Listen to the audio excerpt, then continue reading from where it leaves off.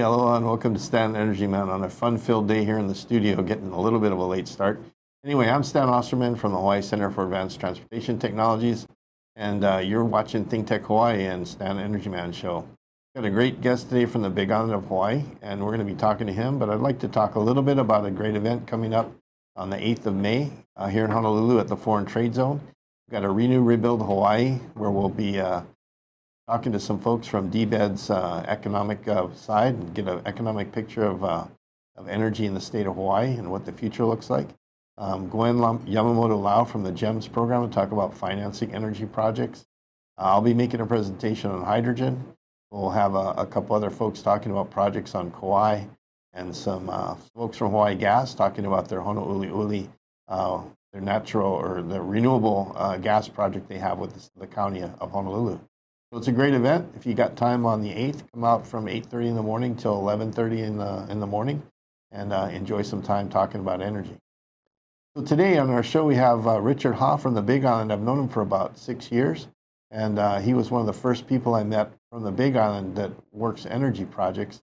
And uh, he's our guest today, and it's really good to talk to him. And so, Richard, uh, welcome to the show, and why don't you tell the audience a little bit about what you've been up to your whole life on the Big Island and what's been keeping you busy and getting you involved in energy? Um, yeah, so the, the, the last 40 years I've been involved in farming. I started off with bananas and started off with a $300 uh, credit card when it was difficult to get a $300 credit card. Um, and then we built ourselves up and then eventually uh, moved from uh, where we were in Kapoho to Keaau, then moved again to Keo, and uh, diversified into uh, uh, tomatoes. And then about 10 years ago, we noticed the cost of our uh, um, supplies were going up, and, and, you know, and it was um, surprising because it was to do with all, all, all the plastics, the the um, fertilizer, stuff like that. And it took me a little while to figure out that they were uh, energy related because they were they were byproducts of uh, petroleum. And once I found that out, I figured I better go study uh, what that was about. And, and so I went to the first of the five peak oil conferences I went to. So in in in a, in a short uh, uh, description, that that's what's been taking place over the last few years. Yeah. So you you've actually self-schooled yourself on um, the, the amount of energy it takes to actually run a farm when you actually go back into the products that go into farming, like fertilizer, um, energy for your vehicles, your tractors, your refrigeration, because you have food safety issues as well, right? Uh, yeah, yeah. Uh, we have to follow all these regulations. But you know what happened to me when I was a kid? Uh, my pop used to tell stories about um, uh, impossible situations, and he would always, you know, we'd be around the dinner table, and he'd pound the table, and he'd say, "Not no can, can." And I was ten years old at that time. It affect, affected me really, really uh, strongly. Um, maybe I'll tell another story. And, and our family is Kamahele from uh, Lower Puna, and so uh, we, you know, the family owned land along the ocean. And Tom was telling a story about his him and his friends fishing uh, so they had a bamboo pole with a kerosene lantern, and they were fishing, the, the three of them. And he said, "Whitewater coming. What you going to do?"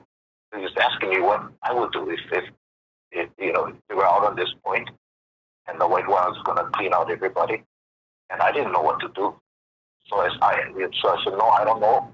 What, what would you do?" He said, "You know what I did was, I climbed my uh, bamboo pole, hand over hand, lifted up my legs, water went underneath. Then I dropped back down and I, I fished my friends out of the water.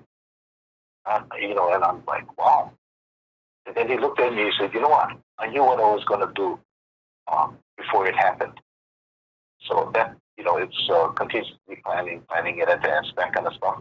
I, I, I was influenced a lot by, by these kinds of stories. Yeah, that's that's really important. We we forget that if we look back to our kupuna, the the folks that came before us. And, and in Hawaii, if you look back four or 500 years, the population of Hawaii wasn't much different than it is right now. But we didn't have to import food. our Safeway and Costco and things like that. We didn't have to import oil. We didn't have to import a lot of stuff that we import now. It was all sustainable. And I think a lot of folks um, don't have that picture right now. We're so used to using cheap oil and cheap transportation to bring stuff in that we probably should be growing ourselves and that we could relearn from folks like your dad and, and the folks that, that grew up from an earlier time and look back in our history on how we could be sustainable. And I know one of the things that you did on your farm was uh, you had your own hydroelectric at your banana and tomato uh, plantation. So I have a, a picture of your, uh, your um, hydroelectric generator. Maybe you could talk a little bit about that project. Oh yeah, the, how that came about was, you know, um, ten years ago when the oil price spiked, we realized that uh, um, I, I, realized I needed to go learn about it. So I, I went to the uh, first of five peak oil conferences, and the first thing I found out was that the world had been using twice as much oil as it had been finding, and had been doing that for 20 years or so. So when I came back from that first conference, I, I said, you know what? We better go figure out what we can do. And we just happened to have a flume running through our property. Uh, so two things happened. One was I, I went, you know, worked with um, uh, legislators to get a law passed so that farmers could use renewable um, energy and get cheap, cheap loan from the Department of Ag. So that was the first thing. And the second thing was we started to figure out how we're going to use the, the river to generate our own electricity. So, so the law passed, and I applied for the loan, and then we developed a hydroelectric plant, which can now, which is now generating 100 kW, um, um, just just from the run of the river. And so, basically, the the that was an old sugarcane flume. Yes, it was. Yeah, it it, it, it, it might have been around for 100 years. And, and, and it was, you know, yeah. We know that sugarcane was on Oahu and on Maui, on, on probably uh, and the Big Island, uh, maybe even on Lanai. I, I, think they were mostly pineapple, but you know, there's a lot of, of those flumes and tunnels that, that have been used for a long time in the sugar and pineapple industry. So we could actually be doing a little bit more hydroelectric, maybe even on Oahu, than we, we think of using right now. And, and that's pretty much a firm baseload power, right? That that 100 megawatts just kind of kind of keeps going all the time. It doesn't doesn't uh, change like the solar solar panels and wind. When the wind dies down or the sun goes down, you know you, you can't count on it for energy. But those flumes, um, as long as the water is flowing and you're putting the same water in that you took out, so you're not polluting it or anything. Um, what were the, what was some of the permitting issues that you had with with uh, using the water? Uh, we, we just have to go through the Water Resource Commission and get approved. So so that that uh, we did that.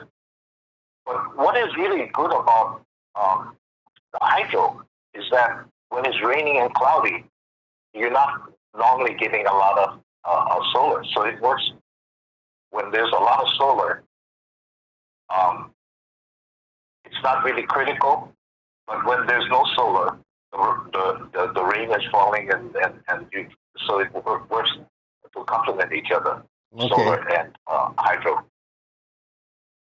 And does the flume, uh, does it fluctuate much over the seasons, like rainy season to not rainy season, or you get a pretty constant generation? Uh, it goes up and down. It, it, if, if there's a drought, it can dry out. Um, but in general, you know, it, it, it's pretty steady. Okay. Let's, let's talk a little bit about some of the other renewable sources that are available on the Big Island. For example, geothermal. Give us a, some background on how, how Puna Geothermal was um, accepted by the community and some of the issues they ran into, and maybe some of the issues we can avoid in the future if we want to use that huge uh, natural energy um, source. Yeah, the characteristic of geothermal is that um, we're going, the Big Island is going to be over the hotspot for, we anticipate 500,000 to a million years. So, you know, it's kind of sustainable, yeah. Pretty sustainable. So, um, yeah. And, and it's 24 7, real solid, uh, uh, stable power. So it's just a matter of where you locate it. And, and there's some um, uh, right now, Puna Geothermal is located close to the East Rift Zone, but there is also geothermal uh, energy on the slopes of Mauna Kea.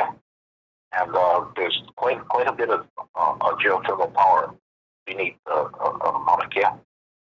So there are alternatives. What are some of the concerns, though, about the, the folks? I mean, we always have folks that are, you know, don't want things in their backyard or whatever for whatever reason. What were some of the, the issues that the local community brought up when Puna Geothermal started up? Well, you know, there, there were issues about um, gases, um, but um, the Department of Health actually um, uh, controls the um, the amount of uh, uh, gas that can be emitted you know, at, at, a nuisance, at, at, a nuisance level. In other words, what you can smell is what they, uh, what they, uh, um, um, that their threshold. Uh, yeah. Yeah, that's the threshold. But the danger is quite a ways higher than that. Yeah. Okay. So, yeah, so the, there's not really much danger if you compare it to maybe um, um, New Zealand or places like that. Yeah. Okay. So yeah, so so there, there there's a lot of concerns from the community, but um, if if you look at the the um, the amount of emissions, the kind of emissions, the the, the, frequency, there's the very very little uh, danger as compared to what just happened with this eruption. I mean, the the amount of uh, hydrogen sulfide that came out is just incredible, incredible uh, as compared to what um, the, the, the, level that the, the, Department of Health controls um, by. Yeah, and that, that brings up a good point. When the volcano recently erupted in, in that area, um, and they had to shut down Puna Geothermal, um, my understanding is that the Big Island lost about 30% of uh, their power generation from that plant shutting down during the eruption. Is that about right? Yeah, it is. It, it, it, it is right. And so they had to use their their uh, the, the, the, plants that they had operating. So they, they got pressured quite quite a bit. Okay. Um, Do you think that actually so helped the, um, help the case for geothermal on the Big Island to realize, you know, how reliable it was and and and how how much they could count on geothermal if they really took up newer technology and maybe improved the location, got it got the geothermal moved a little bit farther away from a residential and community farming area? Oh, yeah, absolutely. So there's a lot of discussion, and and people, you know, uh, especially if you talk to the employees at uh, Puna Geothermal, what you'll find is that the employees are, are, are very comfortable that they're doing uh, the best thing they can do for the community. So um, that's what I, I normally do when I'm trying to find out what's going on with, a particular company. I, I, I, just ask the workers. And, and I got to say, you know, the, the workers at uh, Puna Geothermal are, are, are very, very um, uh, convinced that um, they're doing the right thing for the community. Well, that's important. I know that, you know, we try and do a lot of things uh, here in the islands, and each island has its own personality and its, its own culture. And a lot of times we get pushback from the community, a lot of times it's just because the people don't understand or they're they're fearful of um, the technology itself, or they're they're worried about um, traffic, or they're worried about safety issues. Um, they're worried about what would happen if a tsunami hit and you know and impacted that that technology. What would happen there? They're kind of afraid of the unknown. But when you have people working at that plant and they're they're up to speed on the safety and they're familiar with all the procedures, and they're comfortable, they, it's better for them to talk to their own neighbors and, and make their own community comfortable than to have some stranger come in and, and try and tell them, ah, everything's fine. So uh, I think that's a good, a good way to approach it. Yeah, absolutely. So, um, yeah, and, and uh, you know, the, the, the concerns immediately and, and for the last, you know, 20 years has been local uh, around the area. But you know, there there there's some uh, larger issues today, and the larger issues has to do with you know I saw I ended up going to these peak oil conferences, and the larger issue is um, we're depending on uh, fossil fuels so much, and uh, we're relatively energy blind uh, as to how important uh, uh, fossil fuel is uh, in our economy and our, in, our way of life. So when you when you start to realize that um, these concerns are so important, the worldwide concerns, then and you take a look back down to, to your immediate neighborhood and have to compare um, what what is most important to everybody, you start to see that the concern that's facing us in the future is something that all of us are, are should be concerned about. All of us on, in, on Hawaii Island as well, as well as the whole state, because fossil fuel is is is going to is the finite resource. Basically, that's what it is, yeah. and it won't last forever. Yeah, I know. And you, you sent me those videos from um, Professor Hagens, and uh, and I've talked about him several times on the show. We're going to take a quick break here and get back with Richard and talk a little bit more about uh, the future of the Big Island and how things are looking uh, 10, 20 years from now. And I think some of that's going to revolve around hydrogen. So we'll be back in 60 seconds. Aloha and mabuhay. My name is Emmy Ortega Anderson, inviting you to join us every Tuesday here on Pinoy Power Hawaii with Think Tech Hawaii. We come to your home at 12 noon every Tuesday. We invite you to uh, listen, watch uh, for our mission of empowerment. We aim to enrich, enlighten, educate, entertain, and we hope to empower. Again, maraming salamat po, mabuhay, and aloha.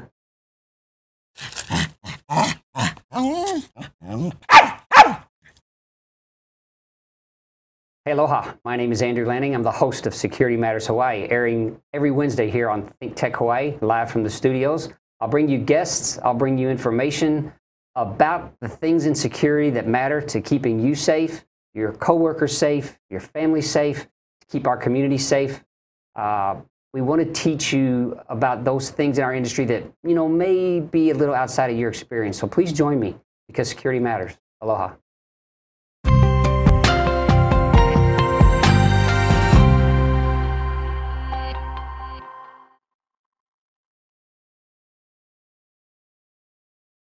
Hey, welcome back to Stand Energy Man on my lunch hour as usual here on a beautiful Friday in Honolulu. Um, we're talking to Richard Ha on the Big Island, and um, Richard left off talking a little bit about some uh, recent conversations he, he's had with uh, Professor Hagens from uh, Minnesota, I believe, University of Minnesota.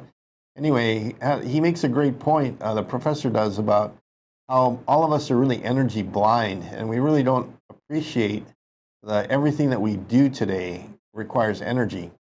And one analogy he makes is that, uh, you know, two, 300 years ago, people used about 200 watts of energy or had about that much energy uh, requirement every day. But today, with all of our technology, all the things we use, our vehicles, our, our transportation, our jets, our shipping food and things across the globe, we're actually using about 100 times as much or, or close to 100 times as much energy as the earliest man was using to go out and hunt and gather their own food. So we don't appreciate how much actual work goes into giving us the lifestyle that we have right now. And that entire energy capability, that, that hundredfold increase, is all because of cheap oil. And that cheap oil is a finite commodity, and eventually it's going to get more expensive than it is now, and it's going to run out. In fact, just an article from the internet today and from the news last night Russia has a contaminated pipeline, and that pipeline carries about 1% of all the oil that the, uh, that, the that the world needs to operate. So imagine if a, a bigger system, maybe there's a, a bigger war in the Middle East, and 15 or 20 or 30% of the world's oil gets tied up and is unavailable. And now all of a sudden there's pressure on the U.S. to provide its oil to the world, and the price starts creeping up on everybody's oil because there's a supply shortage. That's when all of a sudden you start to realize that the price of all your food goes up. As we started off with his show with Richard saying he's got to buy fertilizer, he's, he's got to move his uh, equipment, he's got to have tractors going. That all focuses back on hydrocarbon fuels, fossil fuels. And that price starts to drive the whole world economy uh, crazy when that price of energy goes up. So we need to start looking and being more responsible about uh, being efficient with energy and also what's what we're sourcing our energy with. We talked about hydroelectric and, and geothermal on the Big Island being two great sources of what they call baseload power or firm power that doesn't fluctuate with the sun and the wind that are also available besides all the sun and the wind that we have to provide not only the Big Island but our whole state with energy. But when it comes to moving energy around, you've got only a couple choices. You got batteries, you got hydrogen, you got you can I guess move it in heat if you wanted to, but there's really only limited ways you can move an energy uh, as either a liquid fuel or uh, stored in batteries or as a, as a gas. And one of the, the ways we're looking at storing energy on, on, in the state here is hydrogen. Well, it's one of my favorite subjects. So Richard, talk a little bit about, you know, have, you've been up to Blue Planet Research and been with Paul at his shop. Um, tell us a little bit about what you think about hydrogen. Uh, well, you know, I, I like the idea about hydrogen because, um, like you say, you know, it, it can be moved around, you know, in in in uh, containers, you know, like propane, but you know, adjusted to make it work. You can use it for transportation, hydrogen fuel cell, um, uh, versus electricity, where you would have to use a heavy battery. You could use a smaller tank and still get longer range, and and uh, you won't take as long to to uh, fill up and um, as compared to batteries. Um, yeah, so so and, and plus when you use uh, hydrogen, your emissions is just uh, heat and um, uh, water, water vapor. So there's no pollutants that go up in the air from, from transportation. Uh, so there's there's a whole bunch of uh, um, uh, advantages to using hydrogen in the future, in the future of declining oil supply. And the further you go into the future, the more important hydrogen becomes. So, um, so the question really is now, how soon are we going to see the effect of rising oil prices? You know, right now we see it happening a little bit, yeah. But in about two years or so, it's, it's my guess that that uh, uh, we'll we'll start to really appreciate how, how, how difficult it is, how, how expensive it is to go get uh, the oil, and then the prices will start to rise. So it's prudent for us to, to start to move toward uh, hydrogen as soon as we can. I, I agree. In, in fact, I had, I had a guest on last week and we were talking a little bit about this, and he pointed out uh, something that I, I, haven't thought of, and, and I don't think the professor even included in his talk. But you know, if, if we wait until the crisis point and decide now we need to move into hydrogen for a, an alternative uh, energy source, well, you don't have the equipment built to make the hydrogen or the vehicles and the other stuff you, to use the hydrogen. So now you have to make all that equipment or make all that infrastructure. And when you make it, you have to use the expensive fossil fuel that's in crisis. You know that you're so you're building the infrastructure at the most expensive time, and the time to really start building the infrastructure is now. Even though it's not maybe as competitive price wise, but you can't afford to wait till the crisis to start building the infrastructure replace such a huge and important um, piece of our economy as uh, what the fossil fuel energy sources. So, you know, we're talking about not waiting for the crisis, and don't wait for the crisis to start transitioning to this this hydrogen energy because the infrastructure build will be too expensive at that point. So, you know, how are we going to start moving on the Big Island, Richard, to to get things going early rather than waiting until the price of oil jumps so high? Yeah, you know, and um, so we have to determine uh, ahead of time how many refueling stations do we need, and and the, the and how much will it cost, and um, how do we start moving in that direction? Because what is happening um, just recently is that the um, hydrogen refueling stations don't have to be as large as we thought. At least what I thought. Um, three years ago when I when I was last involved in, in this hydrogen uh, uh, uh, subject. So if we can start off small and then add modules as we go up, we can get a start that that's uh, not as expensive. Uh, so that's kind of where things are today. Today, so it's it's a possibility to to to to get it started earlier rather than having to to, to wait. Um, yeah, it, it's better to, to start moving now. That's a, that's a great point because the one one of the great things about hydrogen it's really scalable. Uh, they make hydrogen fuel cells small enough to run a cell phone on, and then they make them big enough to, to go to grids, um, generate power for an electric grid, and everything in between. And same with the generation to make the hydrogen and dispense it in vehicles. You can get units that cost less than $100,000 that will make the hydrogen, compress it, clean it, store it, and dispense it into your vehicle.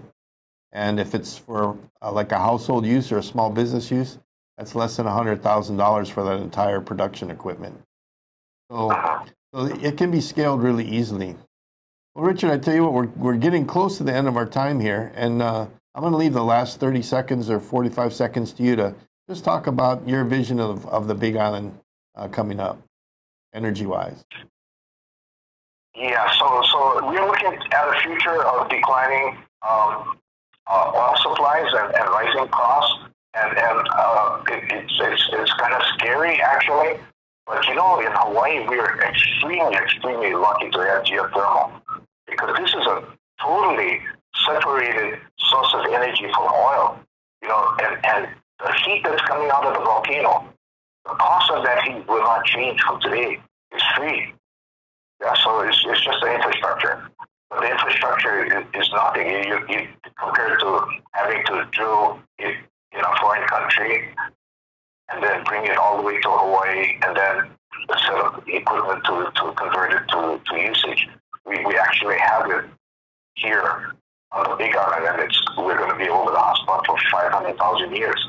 So future is, is, it looks bright. What is really important for us here in Hawaii is to leverage our um, um, who we are, and, and, who we are are is you know from our history is is aloha and sustainability, and that's what the world is starting to look back at as being tremendously important. But that's what our ancestors did from from forever, you know. So it's something we know. Well, Richard, I, I think that's words of wisdom that really need to take to heart because I agree with you. And I think in the future, the world's going to be looking at Hawaii on how we did it because we're, we're going to do it first. We're going to be there before pretty much anybody else. And I'm looking forward to working with you on the Big Island to make it happen. So thanks for being our guest today. And I look forward to seeing you in a couple weeks when I'm on the Big Island. All right. Thank you. Okay, Richard. And thanks to all of viewers out there for watching Think Tech and Stand Energy Man this Friday. And uh, next Friday, I probably won't be here. I'm going to be in DC. Maybe you can Skype me in or something. But uh, we're still working on that. But till next time, aloha.